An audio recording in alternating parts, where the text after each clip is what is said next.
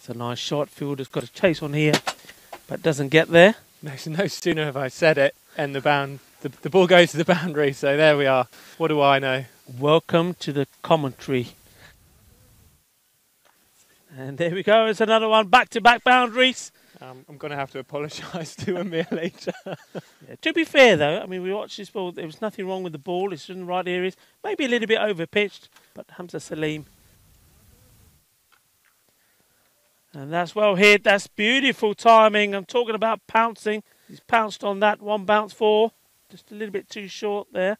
yeah, the ball's just sat up there. It's right on his hip, right in line. Do a little bit of fielding. I'm guessing this is not an injury. That sliced away. That'll be four runs. It's not where he was hoping to hit it, but it was wide. Flashed hard. It's another boundary.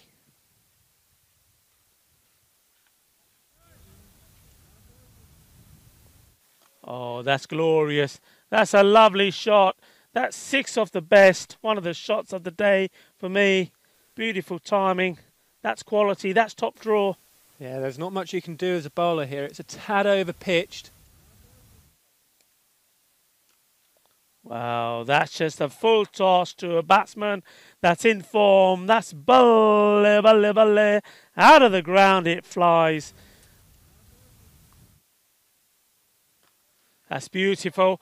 Out of the ground it goes. Ginna, Badda, Shaka. This is lovely stuff.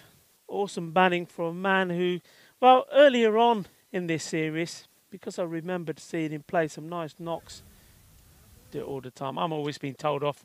Well, that's a big one. That's out of the ground. It's gone right the way over. Our cameraman there, Darko, part of this production team. Darko, Daniel, Mate, Yusuf doing a wonderful job. That was big. Oh, he just launched into that. Balle, balle, balle.